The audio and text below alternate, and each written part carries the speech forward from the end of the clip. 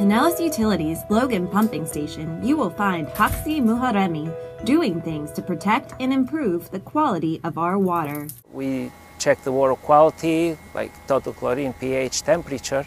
We want to be sure that the water that we supply to the customer is safe to be used. As a water quality and management specialist, two, Haxhi oversees important projects to ensure that water samples are in compliance with state and federal regulations. We collect the samples in a, a water distribution system and the, to the remote pumping stations.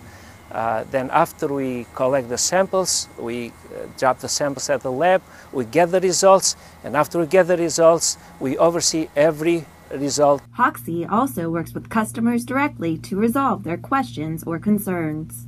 We are uh, doing the best uh, to serve the customers and to deliver a very water, a good water quality.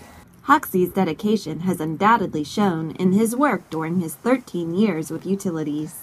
I am Haxhi Muharemi, I am Pinellas County.